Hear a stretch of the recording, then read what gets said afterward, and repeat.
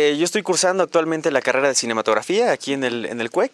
Este, el séptimo semestre, eh, académicamente tenemos que realizar documental, eh, el segundo documental que realizamos a lo largo de la carrera. Y para este semestre en particular, el CUEC tuvo una vinculación con la Universidad de Arizona a través del Centro de Estudios de la UNAM en Tucson la UNAM cuenta con una oficina dentro de la Universidad de Arizona, estableció de parte de nuestra directora del centro con esta oficina lograron apoyarnos para realizar documentales allá, en Arizona. La maestra no, no nos dio eh, pistas de ningún tema, ella solamente dijo cuáles eran los recursos eh, que estaban a nuestra disposición para filmar.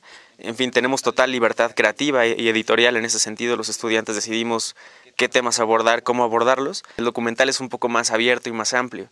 Entonces, eh, hicimos una investigación bastante sólida, una investigación previa para saber cómo íbamos a abordar el fenómeno, a qué posibles personajes íbamos a, acercarnos.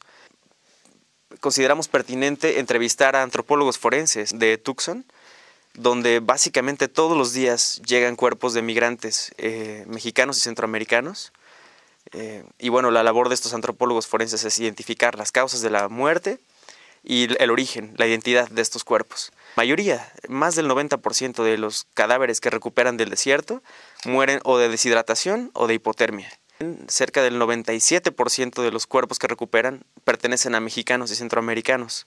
Y fue así como decidimos estos personajes, ¿no? Por un lado los antropólogos forenses y por el otro lado, dentro del documental retratamos a un estadounidense que se considera un cazamigrantes, que es una persona que armada, eh, porque sabemos que en Estados Unidos pues la aportación de armas es totalmente legal, decide patrullar ciertas zonas del desierto buscando migrantes.